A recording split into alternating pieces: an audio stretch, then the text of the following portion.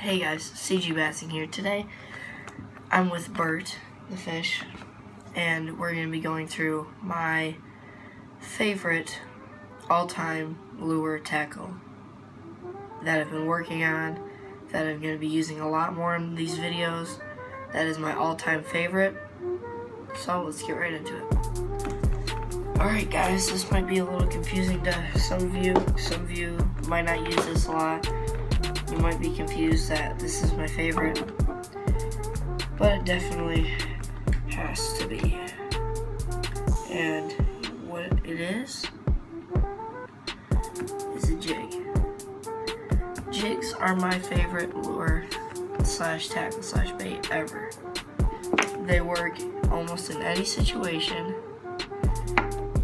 They work perfect on beds, in structure, on shorelines, and basically in most spots you can think of. When I use these jigs, I like to take a trailer, some sort of trailer to go with it, that I put on it, like this one I'd cut down to here, and I'd put it on, probably that one.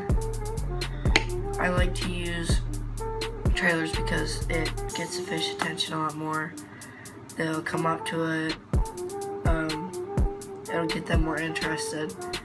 And what I do with jigs a lot is I make it annoying. So I'll throw it up to the fish, I'll get them annoyed, then they'll attack it. That's basically what I like to use. That's my all-time favorite lure, tackle bait, whatever you want to call it. My all-time favorite that I use the most, that I've been starting to use a lot, and it's my all-time favorite. I'd like to know what your guys' all-time favorite is in the comment section below, so please do that, comment.